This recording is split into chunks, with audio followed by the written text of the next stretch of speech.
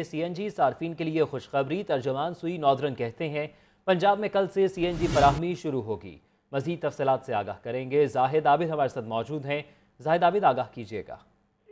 जी, बिल्कुल, दो हफ़्ते कबल एलएनजी टर्मिनल की सालाना मरम्मत की वजह से सीएनजी की फरहमी बंद की गई थी, जो कि आज खत्म हो रही है, ये, जो इन्होंने म्याद दी थी और कल से सुई नॉर्दन की जानब से ये यकीन दहानी कराई गई है कि कल से सी एन जी स्टेशन दोबारा खुल जाएँगे। इसके साथ साथ गुजशत रोज सादकाबाद के करीब गैस पाइपलाइन को भी नुकसान पहुँचा था शर्पसंदों की वजह से, जिसकी मरम्मत मुकम्मल कर ली गई है। जिसके बाद खाद और खाद सेक्टर जो है, उसे गैस की फरहमी शुरू कर दी गई है। पावर प्लांट्स को भी गैस की फरहमी शुरू कर दी गई है। तमाम सनतें अभी तक गैस हासिल नहीं कर पा रही, जिसके लिए सुई नार्दन काम का कहना है कि आइंदा चंद रोज में सनतों को भी गैस फरहमी शुरू कर दी जाएगी।